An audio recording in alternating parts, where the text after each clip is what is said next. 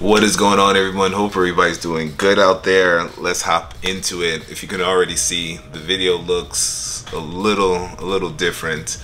And uh, can you can you see can you see what's going on? It's the frame rate. All right. So I'm shooting this at 4K 60. Uh, usually I would shoot at 4K 30, but I wanted just to show you guys kind of like the difference of what 4K 60 looks like, 4K 30 looks like. So, see any of my previous videos, it's usually shot 4K 30.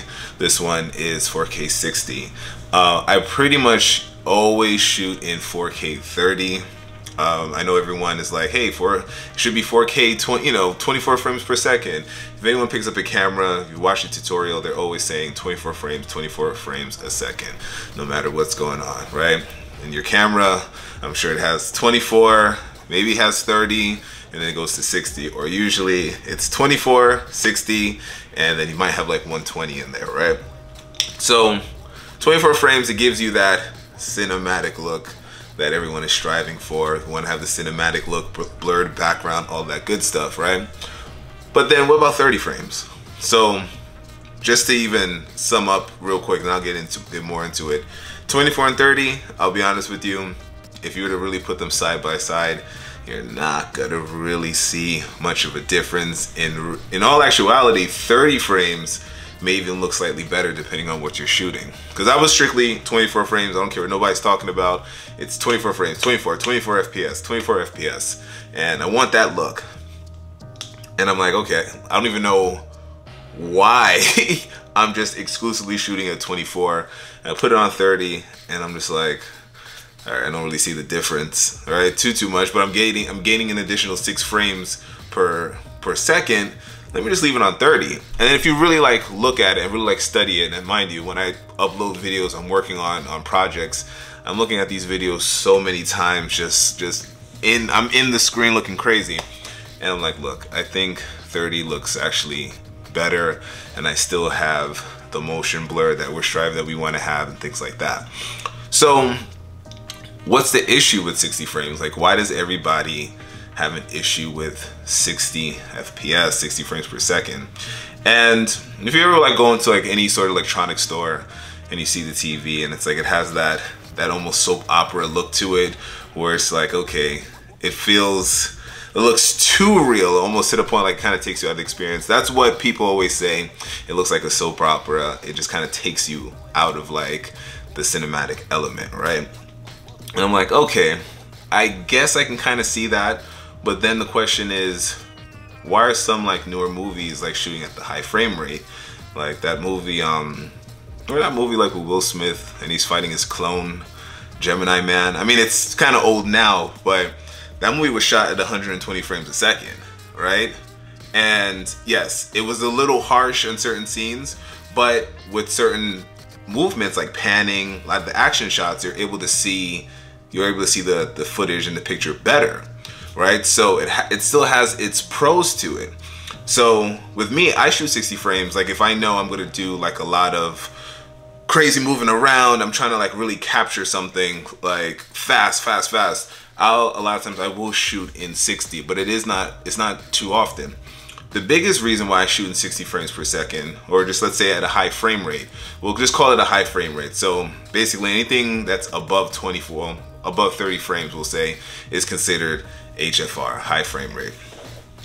The reason I shoot at a high frame rate intentionally is because I know I'm gonna slow down this particular shot, right? So if I know, okay, I'm gonna do a panning motion, but I know right when I start to pan, I wanna slow it down ever so slightly, I'll shoot it at 60, as opposed to shooting it at 24, shooting it at 30, okay, then having to reshoot it, to shoot it in, in a higher frame rate, and then slow down. If I know this shot's gonna be more of a slow down shot, I want to make it more dramatic, or I'm trying to capture a certain feel, which is going to require it to be slower, then yeah, I'll just go ahead and set it to 60, you know, and not 120. If I know I just want crazy slow-mo, all of that good stuff, I want to speed ramp it, then I'll set it to like 120.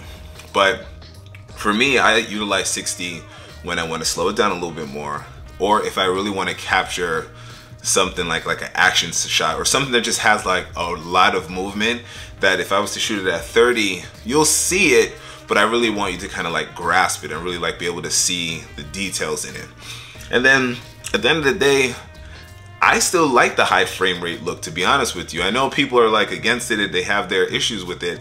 I honestly like the way the high frame rate image looks a lot of times. Like I know people are against it. Like for this image, for example, for this talking head kind of piece that we're doing, and I'm just sitting here just talking to you guys, I'm okay with, with 60.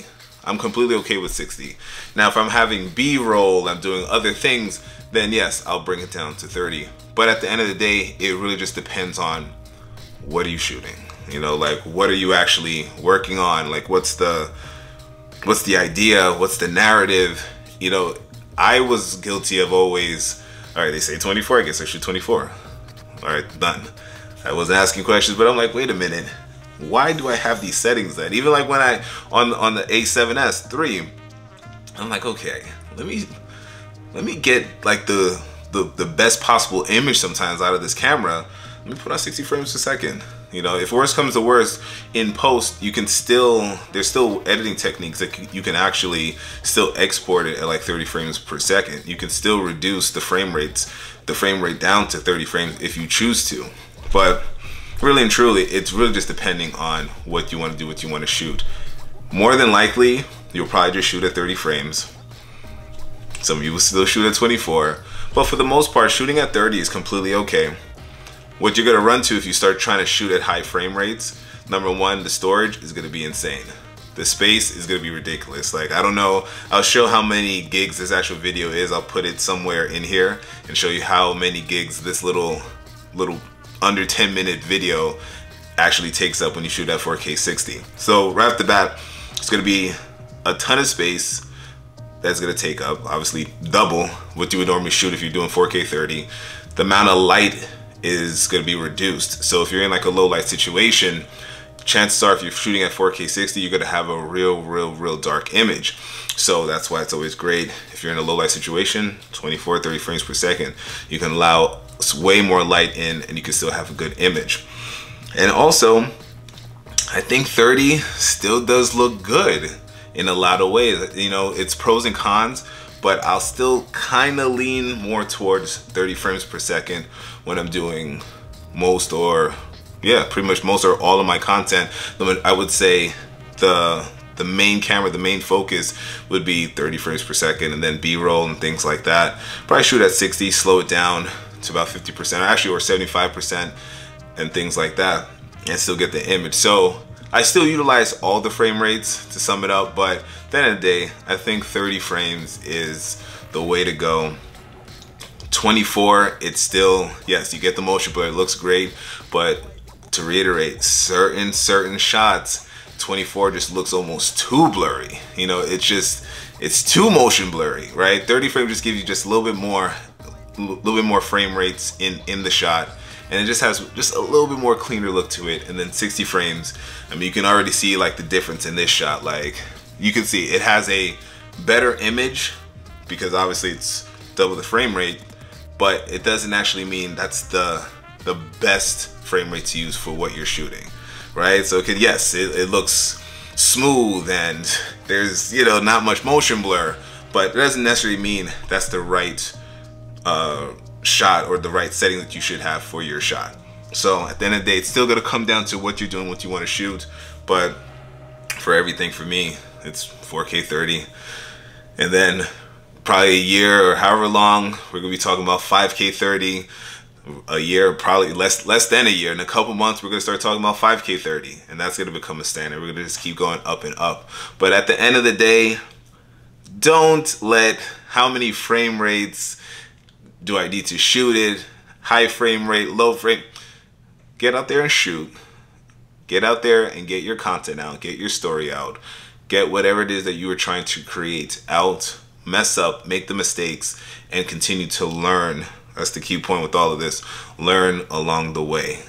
As I'm learning, still learning, I share with you guys. I made a ton of mistakes and I'm still going to continue to learn and make little mistakes here and there, but that's where you get the lesson. Now, it's a problem if you keep making these mistakes and you're not correcting, you're not fixing it, then, then we have a problem. So let me get out of here. Let's see how many gigs this video is, and uh, it'll be up tonight. Another video is on the way. If you haven't already, go hit the subscribe button, go hit the like button, all that good stuff. drop a comment. We're growing this thing. I'll talk to you guys later. Peace.